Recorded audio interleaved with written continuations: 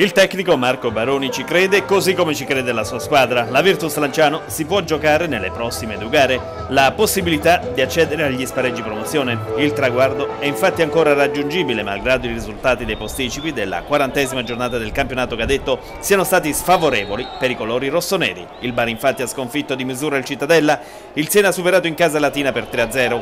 Insidiosa la trasferta emiliana contro un Carpi che a quota 55 punti ha ancora teoricamente qualche chance di aggiudicarsi gli spareggi promozione. Intanto la squadra continua a lavorare per affrontare nella migliore condizione possibile i prossimi 180 minuti.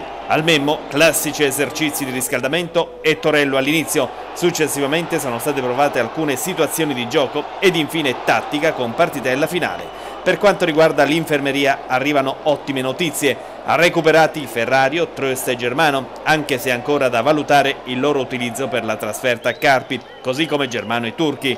Nel Carpi, lo ricordiamo, mancherà il difensore Legati. Nella consueta conferenza stampa di metà settimana, il tecnico Baroni si è presentato con un foglio riepilogativo dell'annata che ormai sta volgendo al termine, dati oggettivi e non soggettivi, quelli riportati, con un confronto sui punti ottenuti rispetto alla stagione precedente, la composizione della rosa con la provenienza dei singoli calciatori. Ci eravamo creati un obiettivo minimo da raggiungere, no? perché senza quelli sarebbe stato anche difficile raggiungere la quota di 63 punti. Adesso siamo in grado di fare 64 perché eh, siamo nelle condizioni di aver fatto un più uno nella mia tabella e quindi cioè, andiamo a giocare le nostre chance ecco, con, eh, con, convinzione, con, eh, con, con coraggio, senza paura. La cosa importante in questo momento è non pensare di non farcela. Stagione strepitosa comunque quella del tecnico frentano che potrebbe chiudere il campionato a quota 64 punti e far continuare a sognare i propri tifosi.